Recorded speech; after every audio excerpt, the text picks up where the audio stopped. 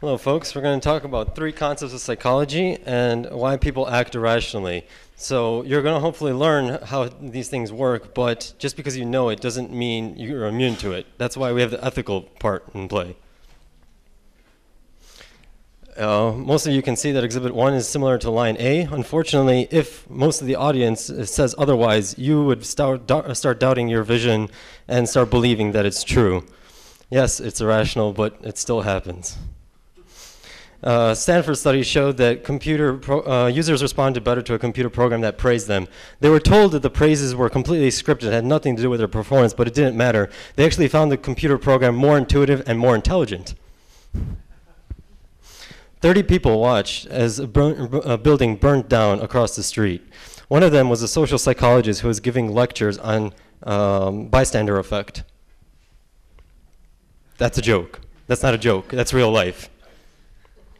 Cognitive dissonance is that uncomfortable feeling you have when you're holding two ideas that are conflicting at the same time. We have a motivational drive to try to reduce this, and that's why we can justify any act or decision, no matter how crazy it sounds. Baby steps. 76% of participants agreed to put up a huge ugly sign in their front lawn because a week ago they agreed to put up a very small one. The control was 17%.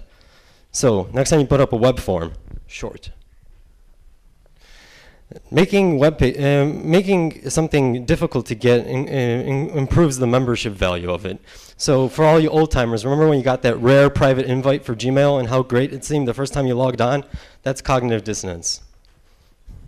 What do the three following have in common? Really easy to get started, really fast feedback, but you have to put in a lot of work to be worthy of note, and it's really difficult to leave. Your brain rationalizes the negatives and amplifies the positives.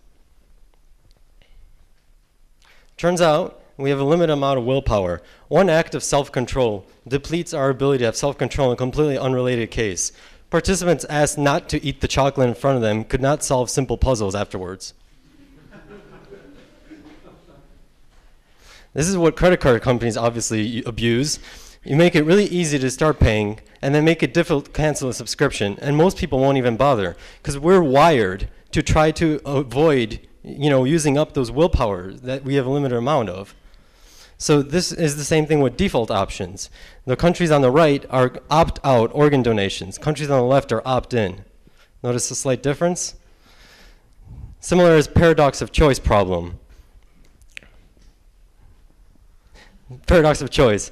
Uh, study compared showing 6 versus 24 results per page having to choose only between six items actually convinced people that they, the choice was better and it was actually more correct. This is what Apple does. Laptop, big, small. It's enough to convince your wife to buy it. You don't want to have all these different options. But then when you're checking out, they provide you with all these extra add-ons and warranties that you might just want to buy.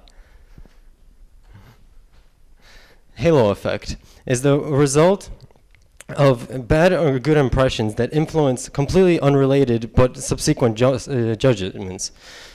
So, sorry. So that's where the iPhone comes in. The iPhone is a great phone because the iPod was a great MP3 player. And since the iPhone is such a pretty device, it must be the most functional and productive phone ever, right? Obviously. A different example. Microsoft security. That's a reverse halo effect. Unfortunately. You do not want to do this with your own products. One bad assertion basically uh, could kill your entire product line. That's the, that's the absolute correlation between measured efficiency, measured effectiveness, and user satisfaction and usability studies. Users are terrible at judging what is a good UI. So you want to get to them by invoking a positive re reaction. So this is what users, what you're telling users about when they come to your site or run your app. The first time they do it, they have 1 20th of a second before they make an unconscious decision about it. So how do you go against that? Well, the most obvious is speed. That's why the iPhone, when you load an app, it shows a screenshot of the app while the thing is loading in the background. It's also why Google Instant is going to be such a great phenomena. It doesn't have to do with advertising. It changes basically, people will think that the thing's more correct. I mean, I'm, I'm spent, but this is just some word of advice. I mean, uh, from Sebastian Deterding. Anyone doing gamification, um, hopefully avoid behavioral psychology. Do that instead.